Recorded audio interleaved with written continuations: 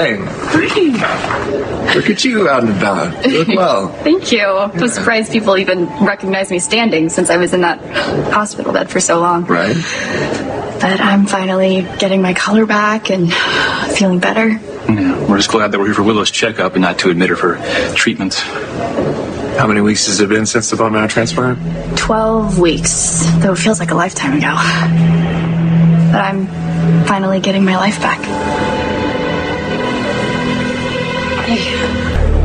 I've been given a second chance at life. And I am so grateful to everyone at GH, but especially to my husband.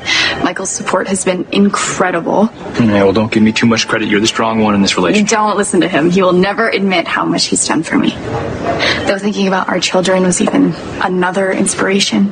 Right. Well, we can agree it was a it was a group effort. And I'm not an oncologist, but the transplant seems to have been a success because clearly you're well on the road to recovery. I won't keep you guys. Nice to see you, Bill. Take care. Care. Thank you.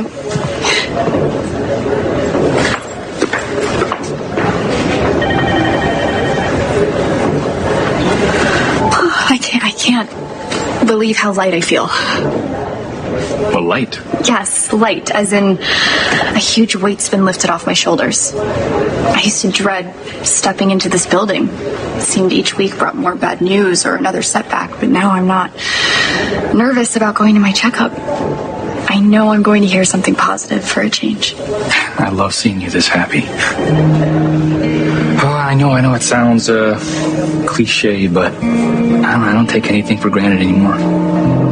Every morning I wake up with you, or see you playing with the kids, or hearing you laugh.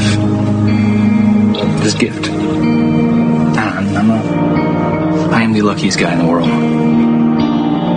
Did something. Oh, hey! Sounds like somebody got some good news. I sure did. I got the green light to go out in public again. Will, that's huge. I know. Is there any restrictions? Uh, Dr. Randolph said it could take up to a year for my immune system to fully recover, but it's already been three months, and she's happy with my blood cell count. Okay, are there any limitations about what you what you can do, where you can go? Or... She advised against travel for a while, so Paris will have to wait. And I don't think I'll be going to concerts anytime soon, but she encouraged me to get out for walks. She said it's a great way for me to build up my strength, and you know how much Wiley loves to explore down by the boathouse, and I finally have the energy to push Amelia in her stroller, so it is just a win for the entire family. But you're not you're not yet planning on returning to work yet, though, right? Don't worry, I'm not going to push it. Dr. Randolph made it clear I shouldn't even think about going back to work until I'm 100% in remission. But I'm not complaining. For now, I am just thrilled to be out of house jail, though the warden's pretty cute. Oh, yeah, and plus he can provide special privileges. yeah, well, I, I'm, I'm just so so happy you got a good report. Oh, and I got to see Clara. Clara?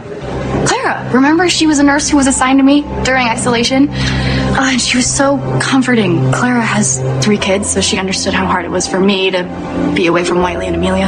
Okay, well, it sounds like she was just what you needed. I don't want this great feeling to stop.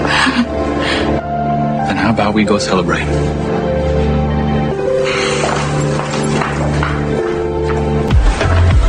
Well, hi, Willow. Hi. Nice to see you. Thank you. It's nice to be seen out in public. Yeah, you just missed Nina. Well, lucky for us. I wish that you'd give me a, another chance. I've been making more of an effort lately. That's good.